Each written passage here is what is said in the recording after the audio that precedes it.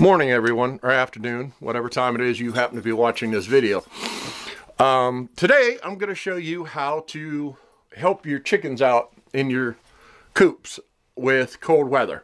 And a lot of people have been worried about that here lately, especially up in the Northeast, because we've had some pretty cold temperatures, as well as the Northwest, Wisconsin, Minnesota, um, different places, the New England states, all the way down to the Carolinas have been getting some pretty cold weather. Well, today I'm going to show you a pretty cheap and inefficient, uh, or a very efficient way of taking care of your birds in their coop. And most everybody already has a pre-built coop or has one in their yard where their chickens are residing. So this will work out very well.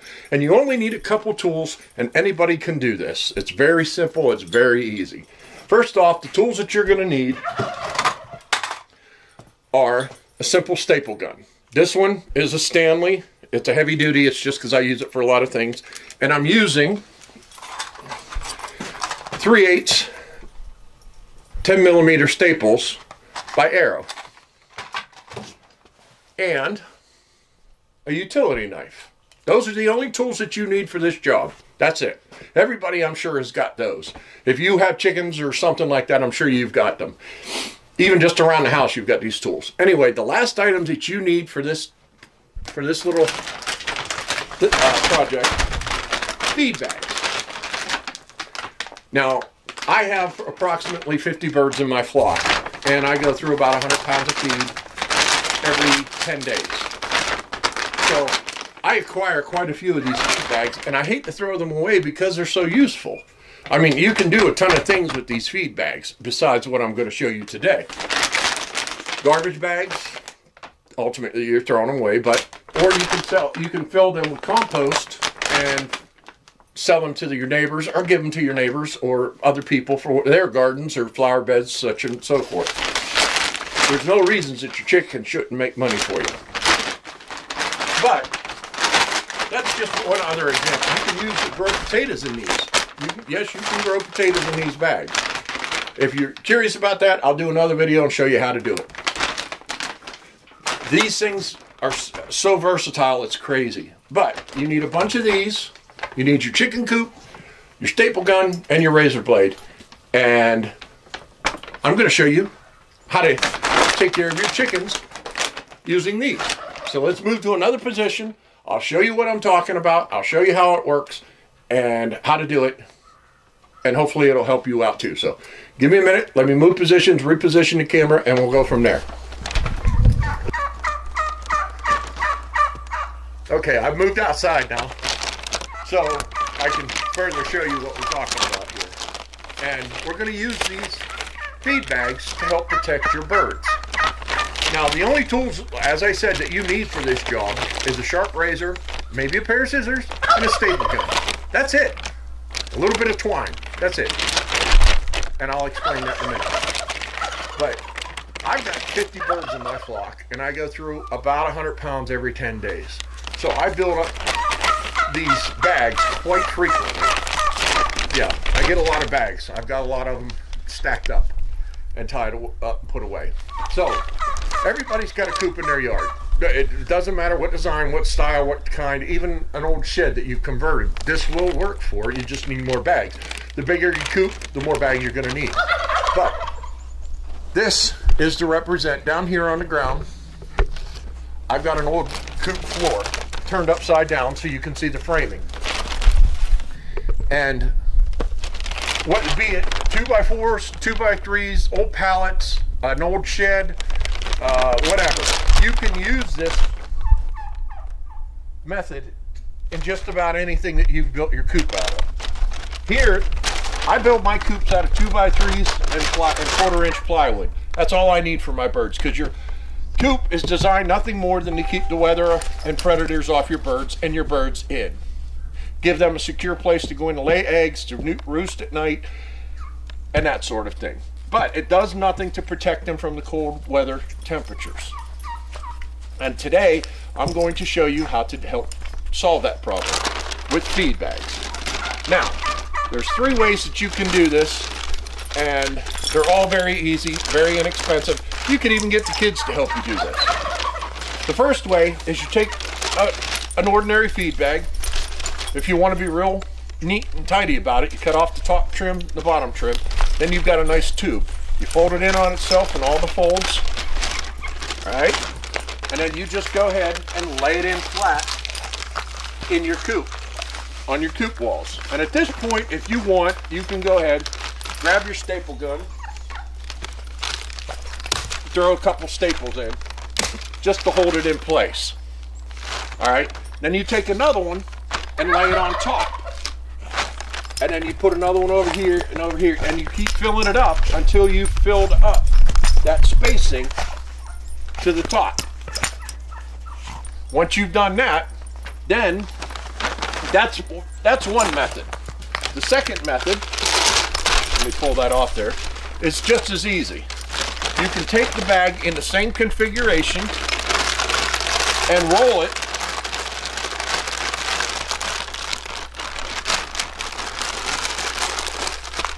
So now you've got a nice neat tube like this.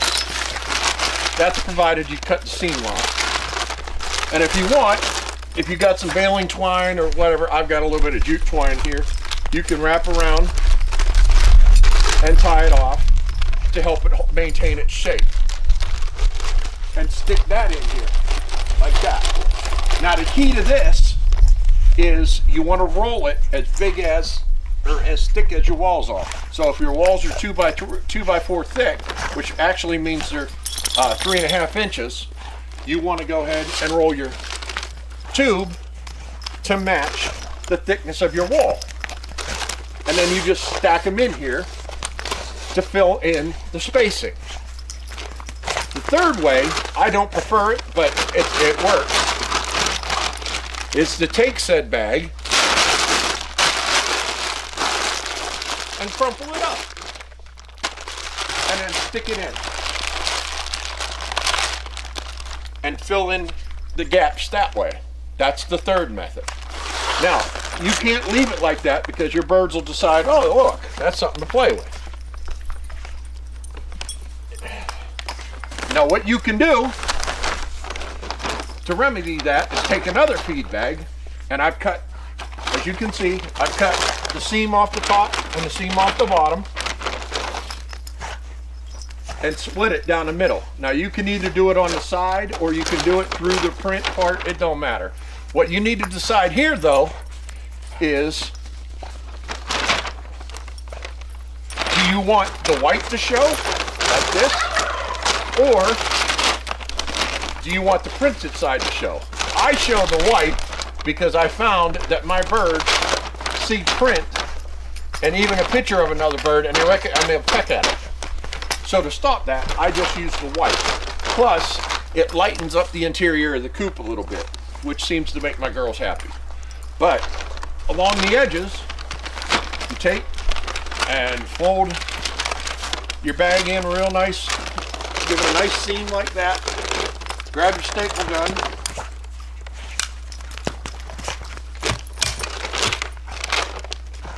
and go down and staple it in place. Pull it across, staple it over here like this. Boom. Now you've just covered your walls and you've insulated your coop.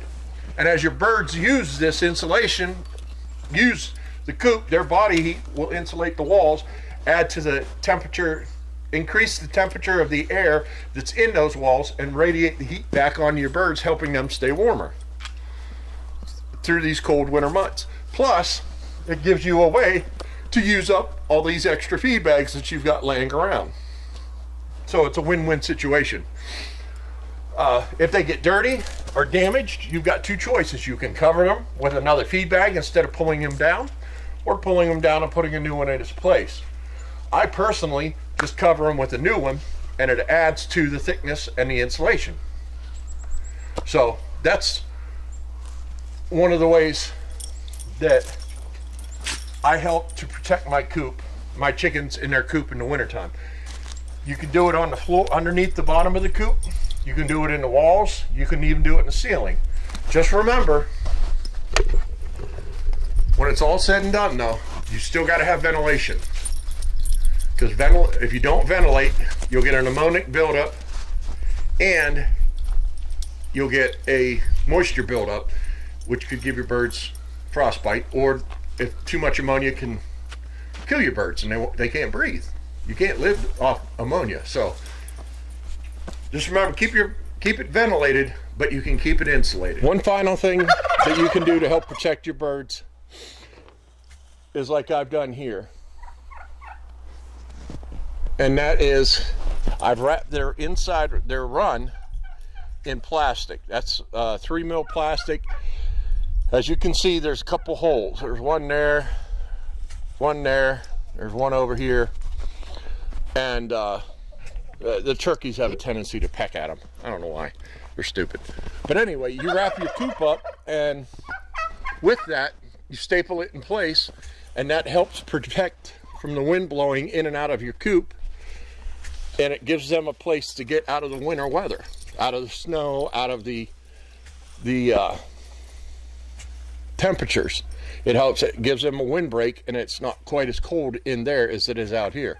It's not raising it up 20, 30, 40 degrees, but it is help to keep them cool or warmer in the winter months. And a lot of my girls will come out and go get drinks, or as you can see by that trail going up there, their water bowls are up there they'll come out and they'll peck when I throw treats and stuff out here.